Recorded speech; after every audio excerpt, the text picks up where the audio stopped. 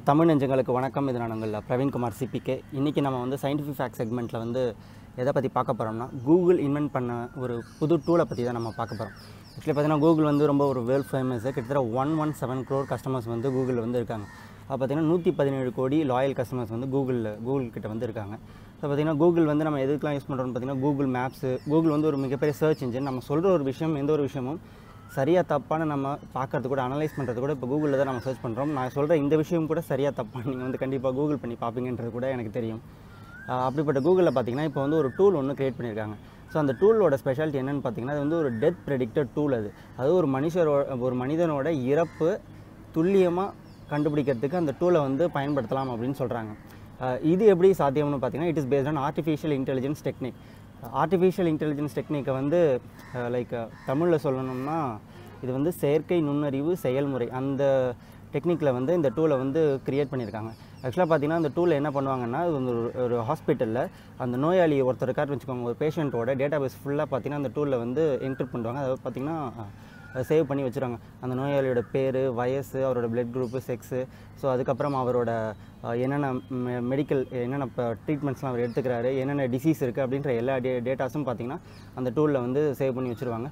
So அந்த டீட்டெயில்ஸ்லாம் save பண்ணதுக்கப்புறம் அவரோட டெத்தை அனாலிசிஸ் பண்ணி அந்த ப்ரெடிக்ட் பண்ணி சொல்லும். அது எப்படின்னு பார்த்தீங்கன்னா அவருக்கு என்னென்ன நோய் இருக்குது அந்த நோயால் அவர் என்னென்னலாம் தாக்குதலுக்கு உட்பட்டிருக்காரு அது என்னென்ன ஆர்கன்ஸ்லாம் பிரச்சனை இருக்குது அப்படின்றதெல்லாம் அனலைஸ் பண்ணி அந்த ஆர்டிஃபிஷியல் இன்டெலிஜென்ஸ் டெக்னிக் மூலமாக அந்த டூல் பார்த்திங்கன்னா இவர் இந்த நாளில் இவ் இவ்வளோ இவ்வளோ நாள் வந்து உயிர் வாழ்வார் அதுக்கான பாசிபிலிட்டிஸ் இருக்குது இவர் இந்த நாளில் இறக்கறதுக்கு இத்தனை நாளில் இறக்கறதுக்கு சான்சஸ் இருக்குது அப்படின்னு அந்த டூல் வந்து சொல்லிவிடுவான் இது வந்து ரியல் ஏன்னா இது வந்து ப்ராக்டிக்கலி எக்ஸிக்யூட் பண்ணி பார்த்துருக்காங்க. ஆக்சுவலாக பார்த்தீங்கன்னா ஒரு விமன் ஒருத்தவங்களுக்கு அப்ராடில் ஒரு விமன் ஒருத்தவங்களுக்கு வந்து breast கேன்சர் இருந்திருக்கு.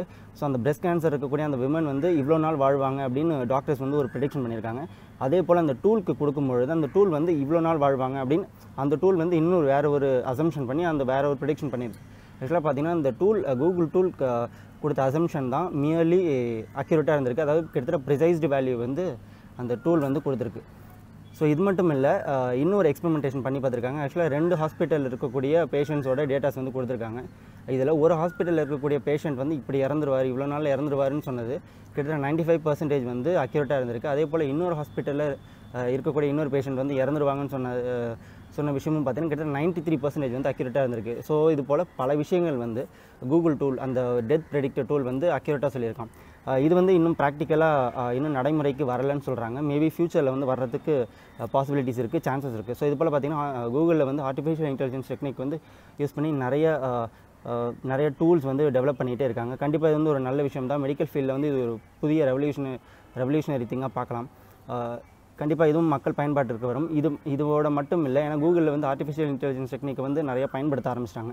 இதை கூட நீங்கள் கூகுள் பண்ணி பார்த்தீங்கன்னா நிறைய இன்ஃபர்மேஷன் இதை பற்றின இன்ஃபர்மேஷன்ஸ் கூட உங்களுக்குலாம் தெரியும்.